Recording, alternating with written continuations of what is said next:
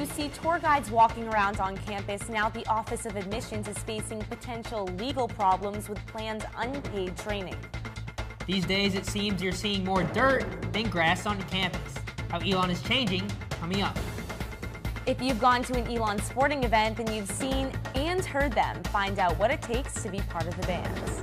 All this and more coming up on Elon Local News.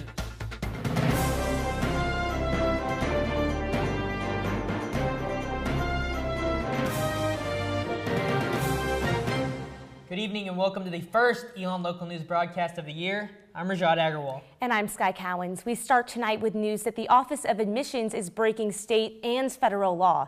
Ashley McGetrick has been following this story and has more. Ashley. Sky, tour guides in the Office of Admissions have long hours of training like many other on-campus jobs.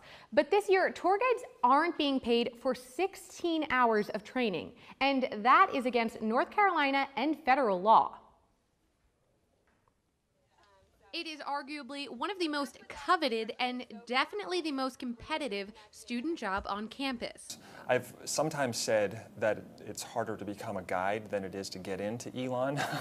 With an acceptance rate of less than 10%, becoming a tour guide on campus isn't easy. It also isn't easy to stay one with an annual required training. This year, guides are required to attend 16 hours of training sessions during the last weekend of August.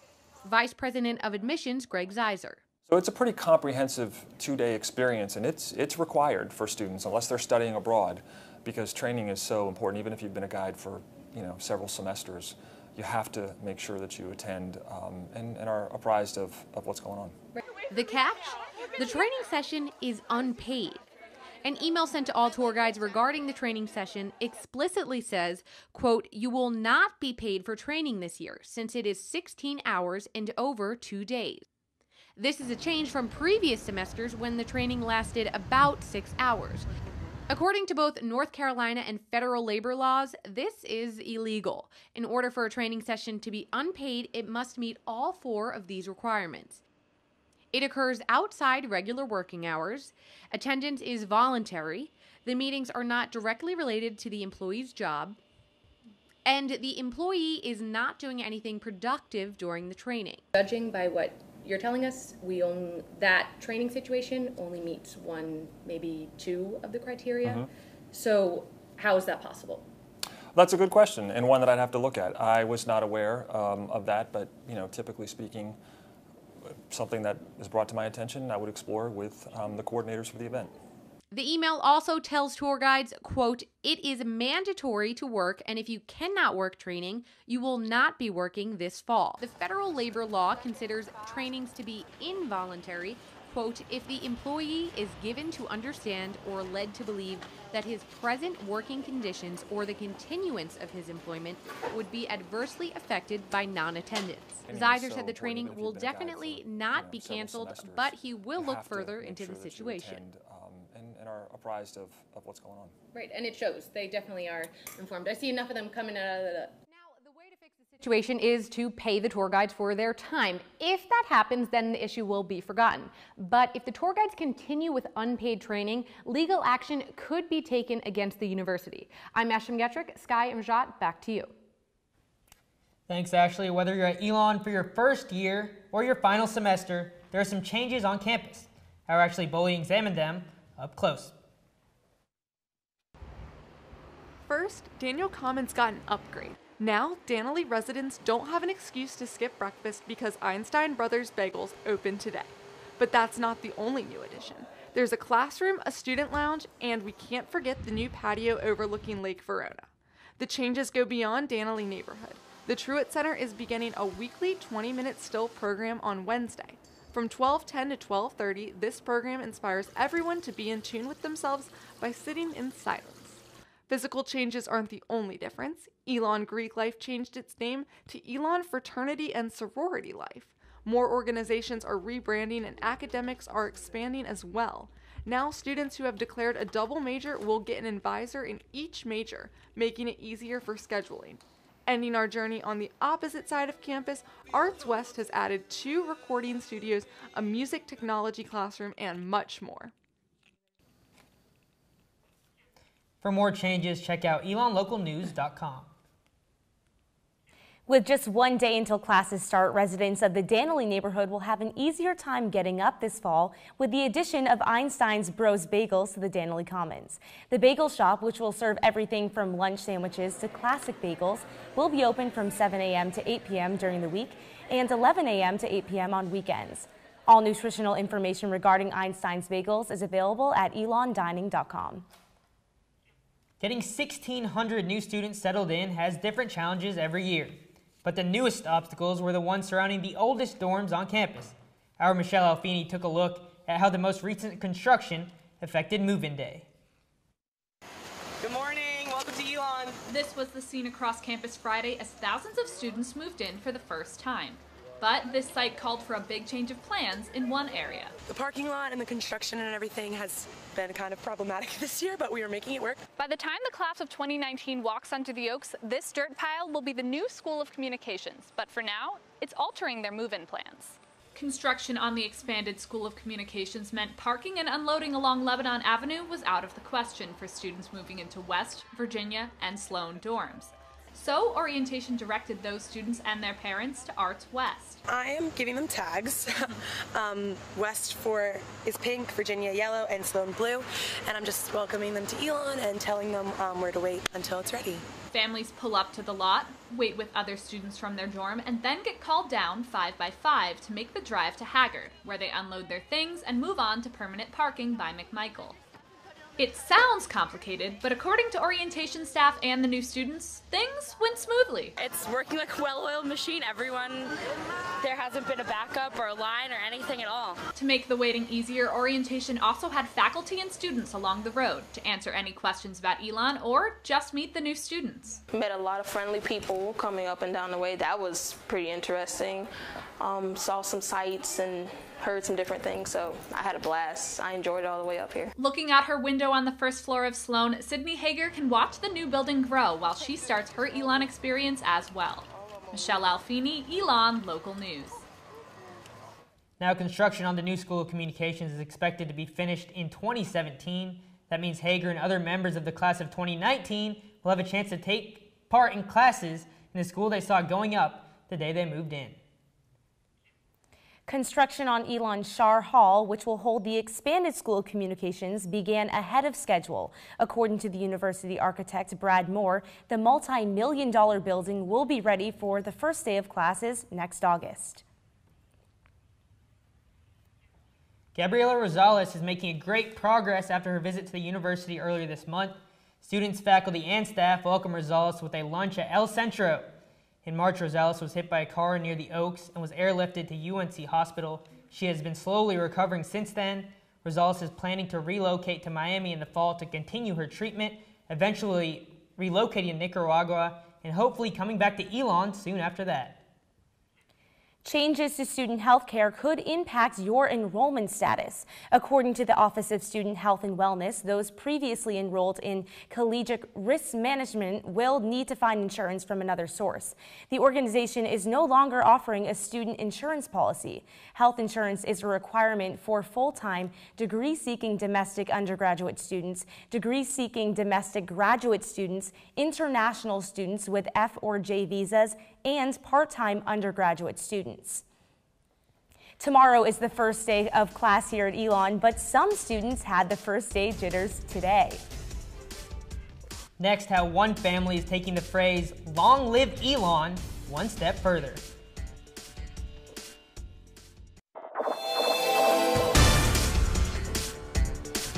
Classes start tomorrow here at Elon, but school started today for thousands of students in the Alamance Burlington school system and I was there to capture the excitement. School buses rolling back into the parking lot, and students walking back into school. These were just some of the sights seen around Alamance County on Monday morning as another school year started back up. It's like holiday time for us. We've got lots of hugs, lots of just, hey, Mr. Davern, how are you? And parents, they're just thrilled about the coming year. Jack Davern is the principal at Elon Elementary School and says they are implementing new initiatives this year.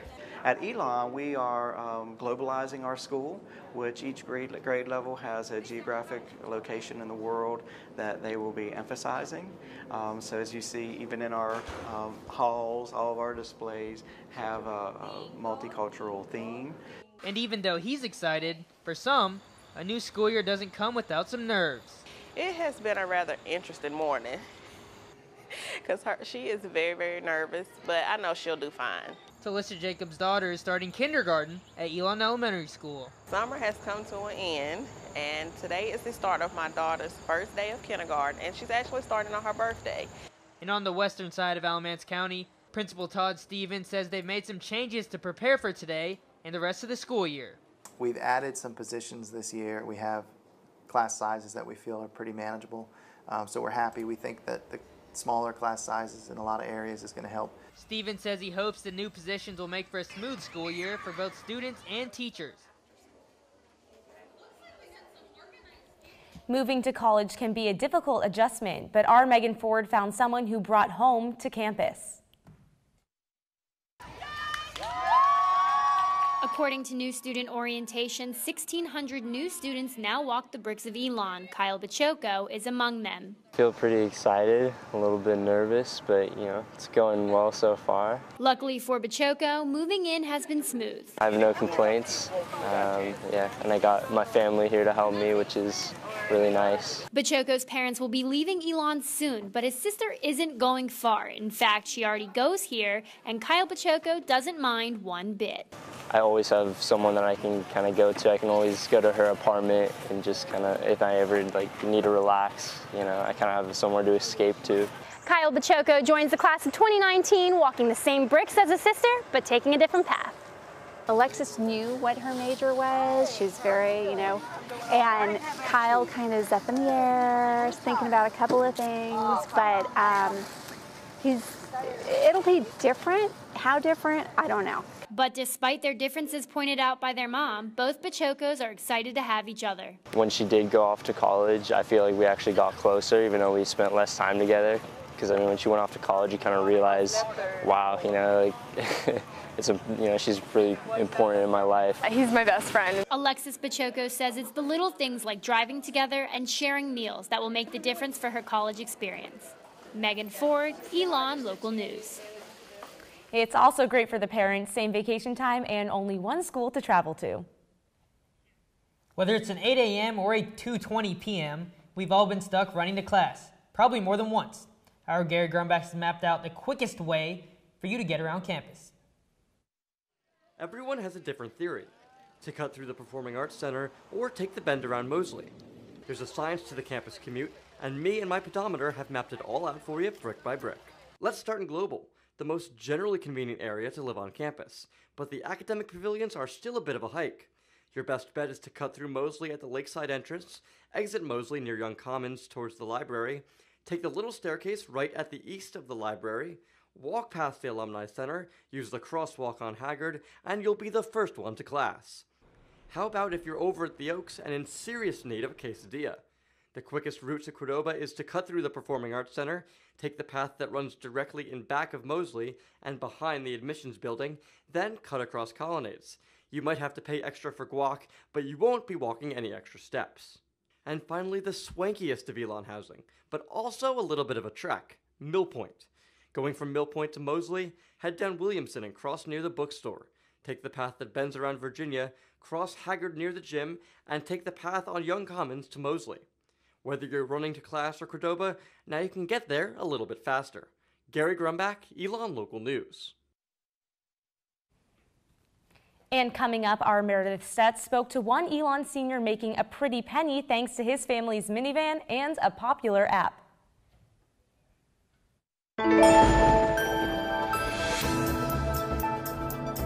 Welcome back and thanks for watching Elon Local News. It was a beautiful weekend as new students moved in and we have our Brianna McClelland in downtown Elon with your Phoenix five-day forecast. Bree, how's it looking? For the first day of class tomorrow, chances are some students are planning out their first day of school outfits. So, are you going to need a jacket or umbrella? Your Phoenix five-day forecast coming up right after the break. No, keep going. This is not your tease. Keep going. I've got to say, I've missed the beautiful North Carolina sunshine, but I did not miss this humidity, especially while moving in. Today's temperatures reached 88 degrees, but it felt a lot hotter with the 72% humidity. But for the rest of the week, it's not going to go away. For the first day of classes tomorrow, we're going to see partly cloudy skies with highs in the mid 80s and lows around 60 degrees at night. These temperatures are going to linger for the rest of the week. Wednesday's temperatures reaching a high of 86 and lows around 62. Thursday looks to be mostly sunny, and temperatures during the day around 85 degrees and not dropping below 60 in the evening either. Looking to the weekend, Friday's going to be partly cloudy with temperatures remaining in the mid 80s and lows in the 60s, but the sun will indeed come out tomorrow, with Saturday's temperatures lingering in the mid to high 80s with lows in the 60s and no clouds in the skies. Now, even though fall semester is starting, seems like the summer weather is going to stay around for a while, and I, for one, am not complaining. Rajat and Sky, back to you. Thank you, Brianna. With the start of the new school year, many students will be on the hunt for a part-time job. However, Meredith Stutz found one senior who's using his passion for people and cars to make some extra cash. With a new school year, sometimes you need a ride after a night of fun. Senior Noah Sagan believes he can help. With Uber, that is if you want to basically, if you want to pay for the luxury of not having to wait, um, you know, having somebody come just right away whenever you hit that button. There's usually Ubers in the Elon area, so they'll be there within two minutes. According to its website, Uber is in more than 300 cities in more than 60 countries. Sagan says that since starting in July, he is making a respectable salary while driving for the larger Piedmont Triad area. I have done well. Some weeks I make $400. Some weeks I make $100, depending on how much I work that week. Um, but yeah, it's been it's been pretty good. Let's take a closer look at exactly how Uber works. First, download the free Uber app to your smartphone, or you can use a computer. Simply save your credit card information, your phone number, and a basic profile. With Uber, the process is completely digital. You simply save your credit card number to your profile, and the fee goes directly to your bill. Next, select your exact pickup location, followed by an optional destination, and then hit the request button. And now you wait for your driver to pick you up at that exact location. Once picked up, Noah says he can promise a signature Noah Sagan experience. I've had passengers like they hear a song come on the radio that they like. I am more than happy to turn it up and like dance and sing with them. I asked Noah to take me along to show me a typical Uber ride.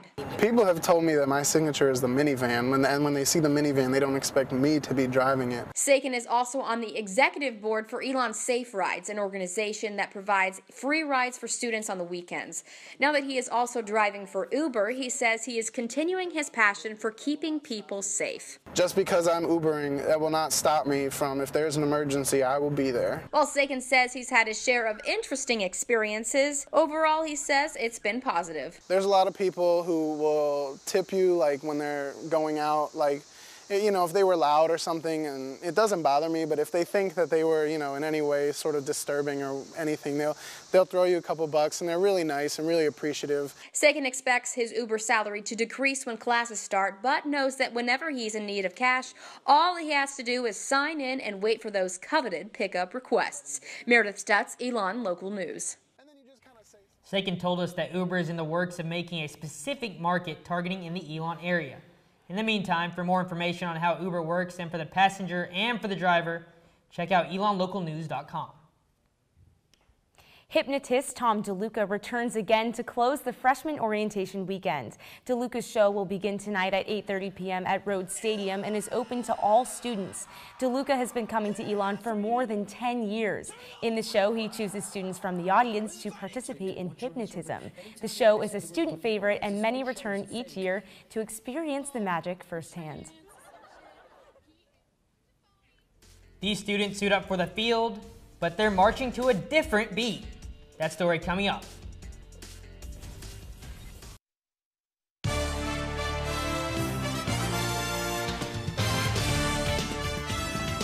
Welcome back to Elon Local News. I'm Justin Beagle. Rich Skrosky's first season back with the Elon football team was far from stellar. A 1-11 record, zero conference wins, and an injury-plagued lineup.